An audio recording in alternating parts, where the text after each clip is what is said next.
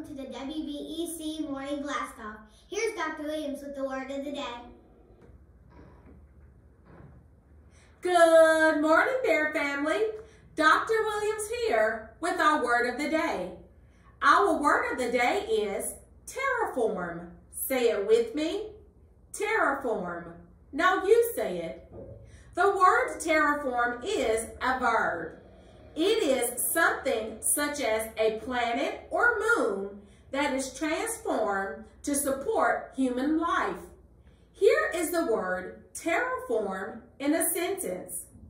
With Earth being the only Goldilocks planet within our reach, some argue that the survival of humanity depends on our ability to eventually terraform Mars. Terraform. Students remember to be respectful, responsible, and resourceful in the classroom, hallway, restroom, cafeteria, and on the bus. To the moon and beyond. Have a great day, Bear family.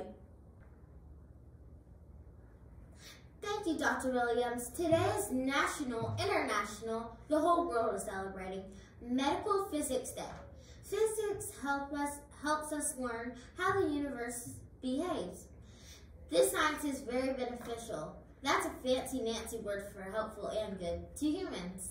And thanks to the biomedical or applied physics in medicine, we have diagnostic tests to see inside our bodies, such as MRIs, CT scans, x-rays, and ultrasounds. Phew! That's a lot of science for so early in the morning. But we use science here at Bear daily. Some careers in the physics field of medicine are cardiology, heart, neuro neurology, brain, and audiology, hearing. A pioneer in physics was Marie Curie. Her contribution to physics in the field of radioactivity helps us today in, to fight against cancer. In fact, this day was chosen because it was the day of Madame Curie was born in Poland in 1867. How many years ago was she born? You know the drill. Write it on a piece of paper and put it in the bin. Be sure to check your subtraction. Let's go to the lunch menu. Good morning, I'm Courtney. Today is Taco Tuesday. Choice of beef or chicken nachos with pinto beans, corn, fruit, and brownie. Don't forget the milk, it does the body good. Uh, Our question last week was answered by many of you and almost all got the answer right. Is a jellyfish a fish? Shout out to the following students for the answer right. Larea, Corey, Bryn, Ian, Jacaden, Mackenzie, Isley, Logan, Rosiah, Hayden, Gabby, Matthew M. Way to go, fifth grade, for getting the most correct. Let's go to the weather.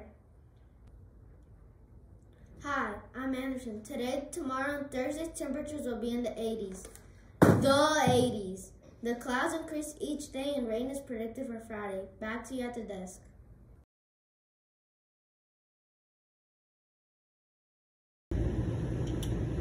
I pledge allegiance to the flag of the United States of America and to the republic for which it stands, one nation, under God, indivisible, with liberty and justice for all.